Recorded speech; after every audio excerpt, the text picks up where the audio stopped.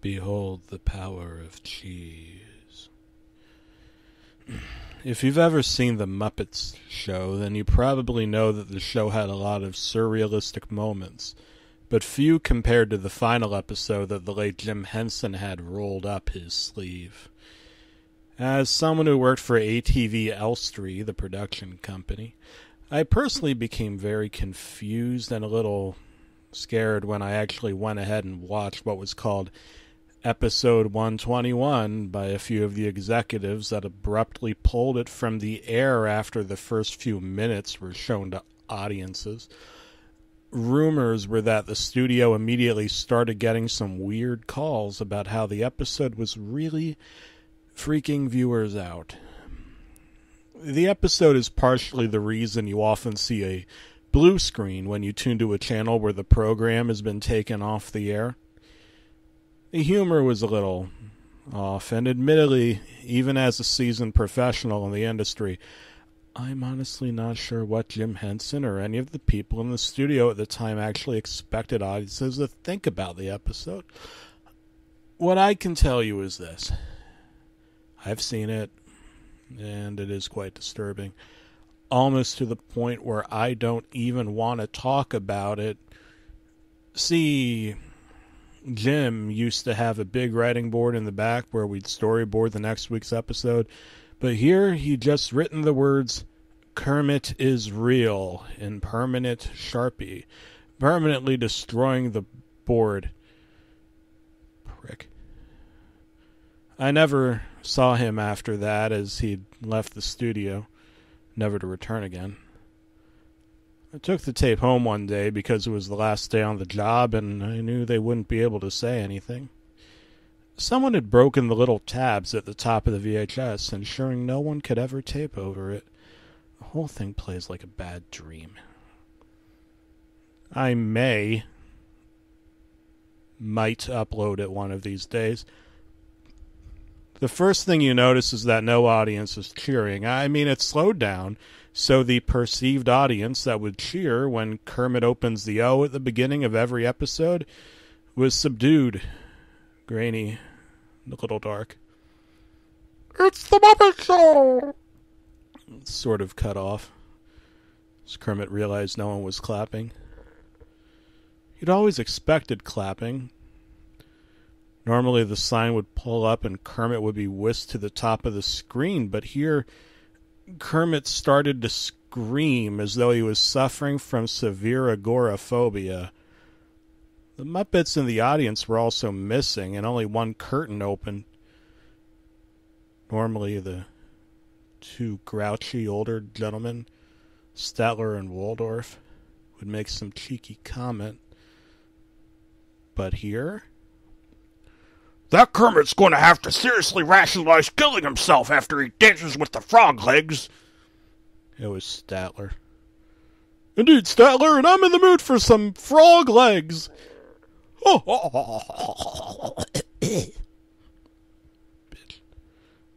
You see, Waldorf take out some frog legs, dancing because they've recently been salted.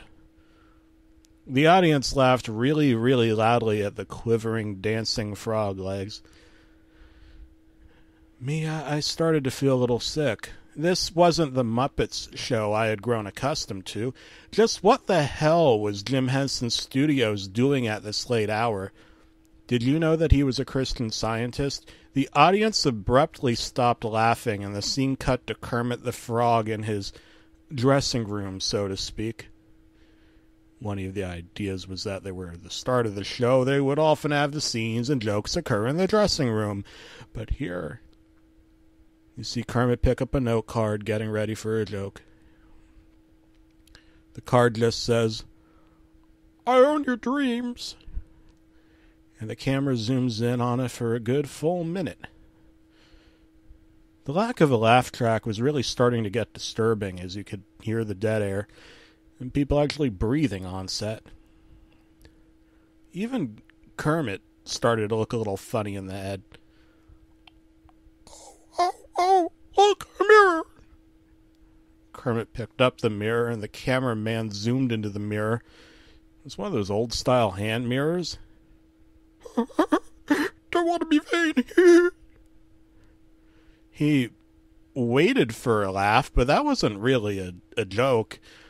Kermit picked up the mirror and put it to his face, and, um, well, y- you see, he touched his eyes. It was kind of creepy, to be honest.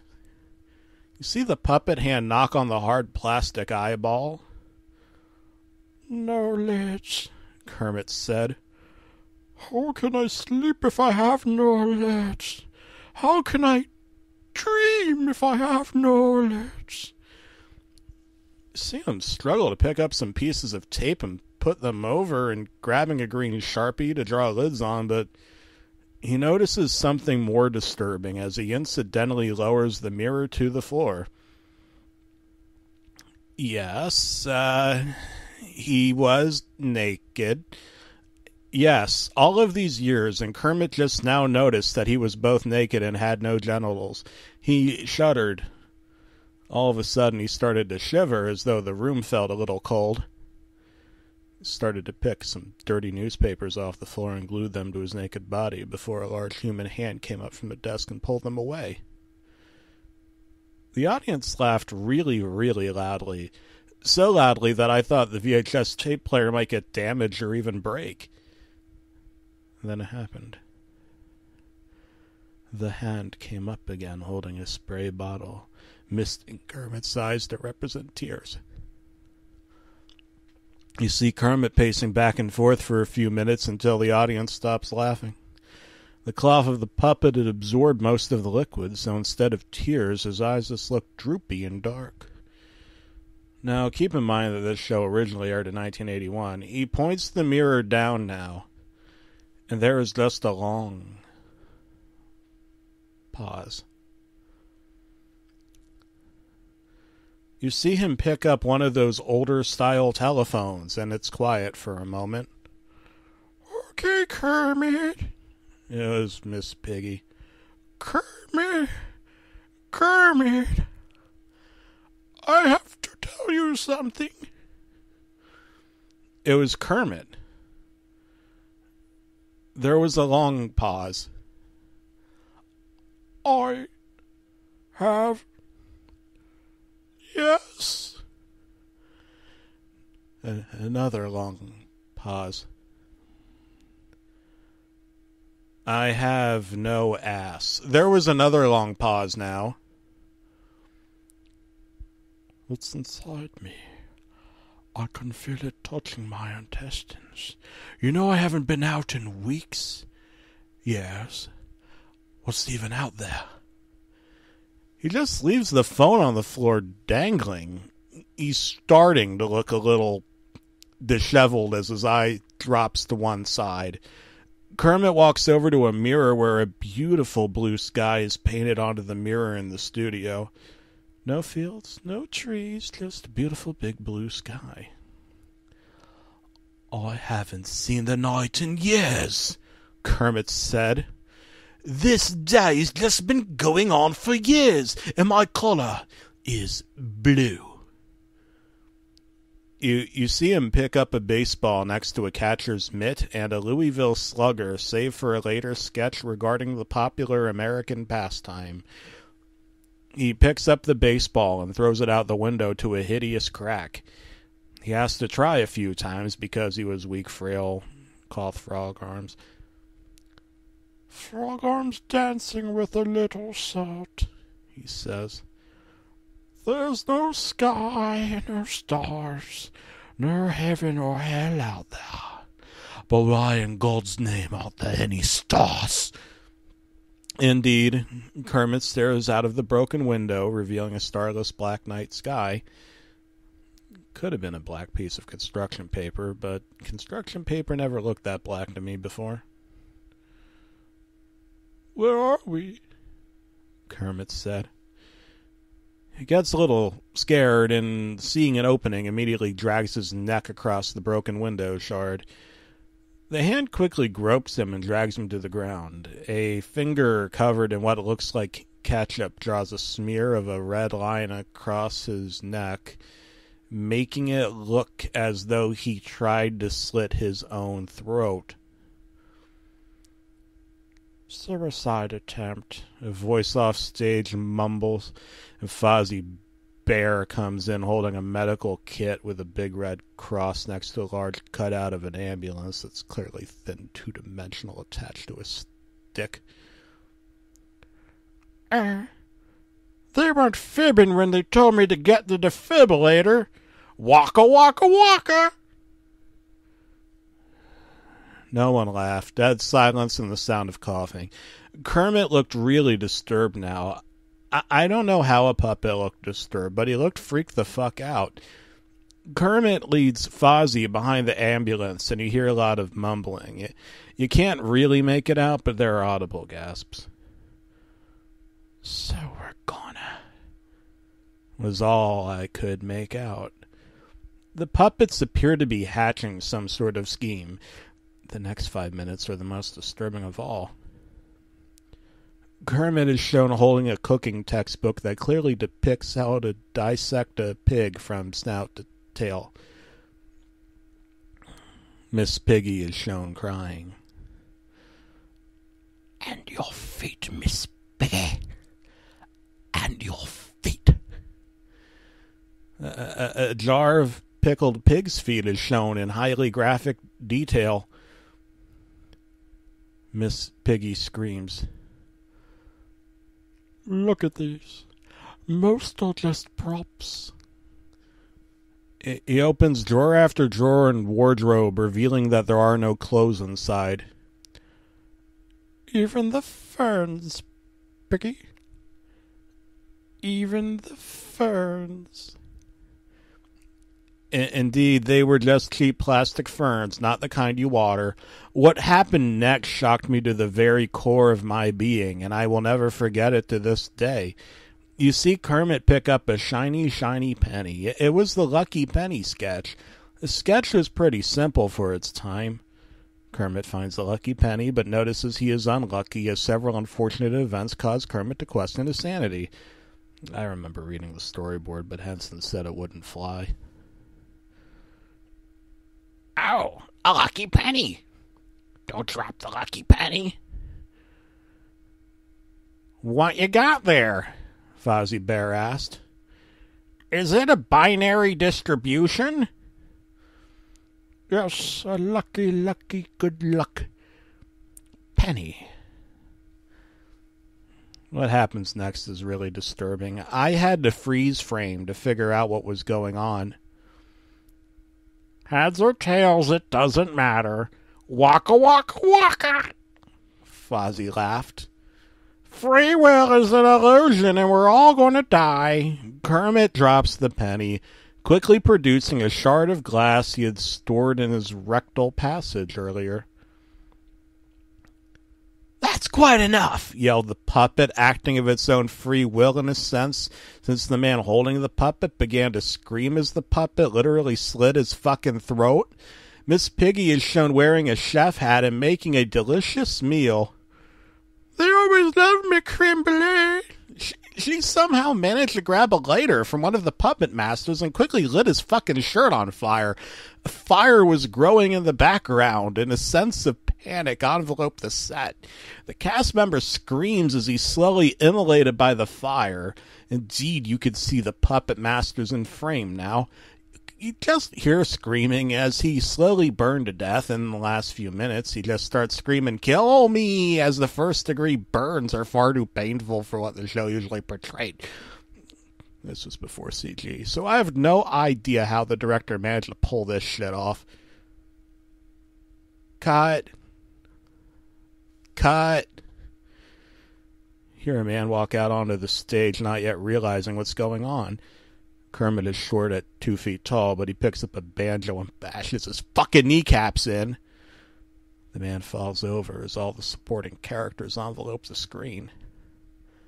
A mop of fabric and cheap googly eyes begin biting, twisting, and tearing the flesh off of the director's skin.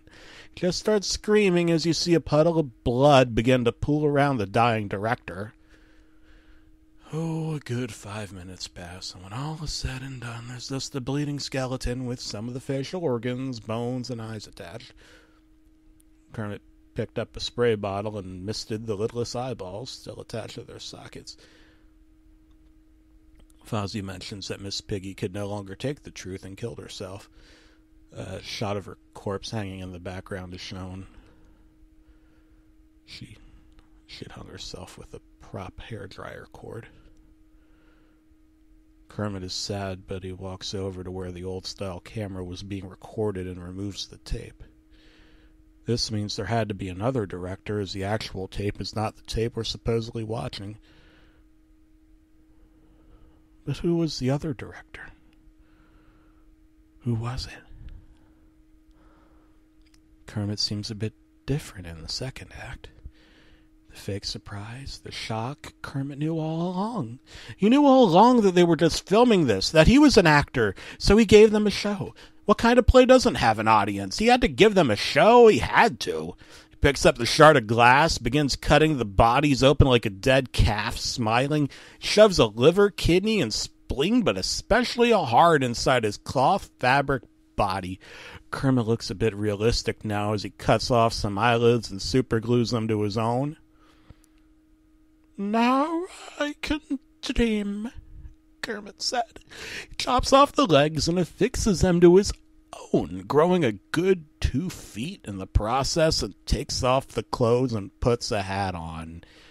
Kermit kept the collar, though. He originally had the collar to disguise the seam between his head and his body. Follow your dreams, Kermit says courageously. Life's a ball about how we try to be human. We're trying to be human. Blood begins to seep through and stain the green cloth fabric of the puppet costume. The other puppets weren't moving anymore. Some were dead. Others had left the stage. Kermit walks out the prop window, opens the stage door, and you just see a bright, beaming light actual sunlight as it envelopes his deformed, bleeding puppet body. He's shown pointing toward the sky with a crooked green puppet index finger, smiling and laughing at all that he's seen and heard. You know, it's not so much that I'm an atheist as that I have a sneaking suspicion I myself may be God. You see the hideous creature ambling toward the parking lot and toward a corner shop as people start to scream. The bloody leg stumps falling out and the organs dangling because they've been stapled to the puppet cloth. Kermit is smiling. He's almost human smiling quite a bit, holding his organs in with his fingers. The head droops a bit. The legs of the puppet break down. And it's still shown holding the shard of glass. You see the blue sky reflected in the shard of glass. The outro music plays and the screen fades to black.